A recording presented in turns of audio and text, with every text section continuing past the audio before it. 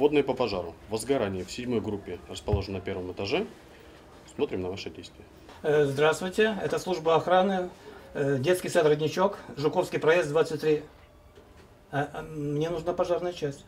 Возгорания, конечно, никакого нет, а вот пожарная машина и огнеборцы самые настоящие. Пока под присмотром специалистов охранник выполняет необходимые действия, начинается эвакуация из группы.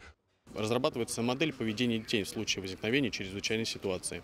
Также э, персонал э, понимает и изучает дополнительно требования, к, как проводить правильную эвакуацию, по каким наикратчайшим путям выходить из здания, в котором либо задымление, либо произошло возгорание. В летнем лагере «Родничок» отдыхают школьники в возрасте от 7 до 12 лет. Подобные учения в рамках Дня пожарной безопасности – часть программы пребывания в учреждении. Эвакуировано 24 ребенка. Все в целости и сохранности. Но это было только начало, а дальше проверка знаний ребят и рассказ о работе пожарных. С помощью огнетушителя что можно сделать? Молодцы, все знают. А как звонить пожарную охрану? 112, 101. Молодцы, вот два телефона можно запомнить. В этом костюме также имеется да, защитное стекло, которое тоже отражает температуру. Группа слушателей подобралась инициативная. Например, во время рассказа о том, как работать с огнетушителем, поступило неожиданное предложение.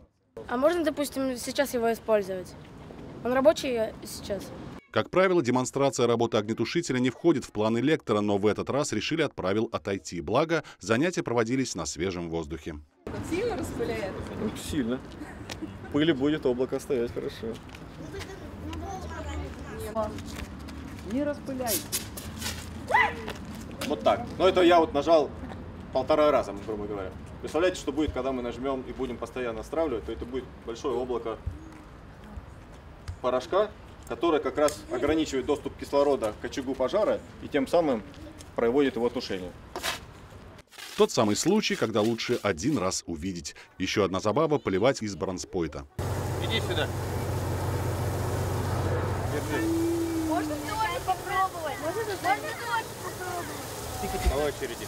Я первая. Я, потом, я после Варвары. Судя по всему, в этот день ребята не только закрепили уже существующие знания, но и сделали маленькие открытия. Мне очень было интересно. Я многого узнала о пожарной машине.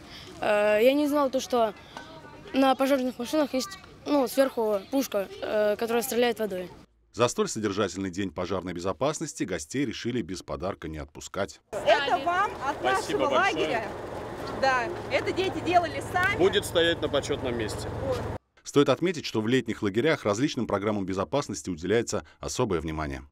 связанные мероприятия с экологией проводим. Безопасность обязательно, это ПДД обязательно у нас, вот пожарная безопасность. Это всегда на протяжении всей смены, как бы постоянно повторяем и постоянно проводим какие-то мероприятия с детьми. В финале ребята разбились на команды и сразились крестики-нолики, но с поправкой на специфику сегодняшних занятий с помощью огнетушителей. Эвакуировались и поиграли, и много интересного узнали. День противопожарной безопасности в летнем лагере «Родничок» прошел на отлично.